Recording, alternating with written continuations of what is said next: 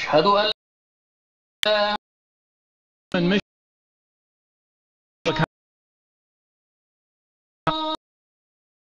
second prayer of the day and following custom she'll pray three more times belief. And I love my belief, so I have to respect it and follow the rules.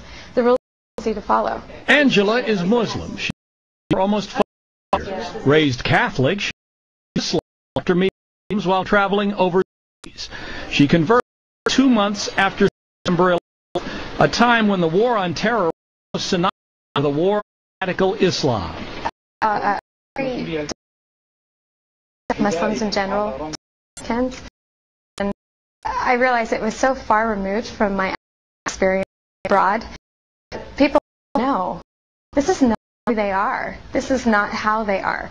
There are an 1.1 billion Muslims worldwide, and most are not Arabs. In the United States, while the Muslim contingent numbers an estimated 7 million, it's rapidly. 1,000 new converts here, four times as many women. in the Quran it says that women were created independent of Adam, that Eve was an creation of God's. And so for white Americans, it appeals to their sensibilities and it's waiting for them. Maybe I'll help you put. Roach converted to Islam after being introduced to the religion by her husband Chris. They weren't married.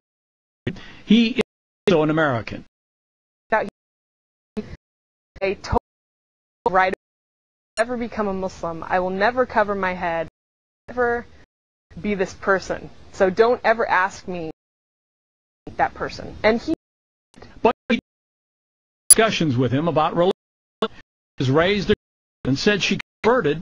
She was able to pass the stereotype and learn to use the freedom in each person, rights of each person, and that all theological teachings of Islam as well. Yes, I'm and I'm spoken, um, assertive, and very person.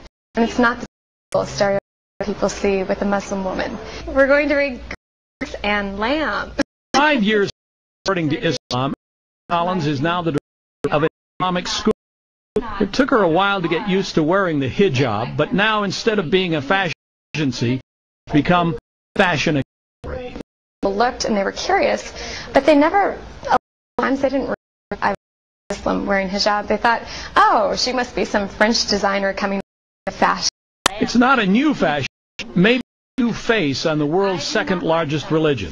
George Lewis, News, Los Angeles.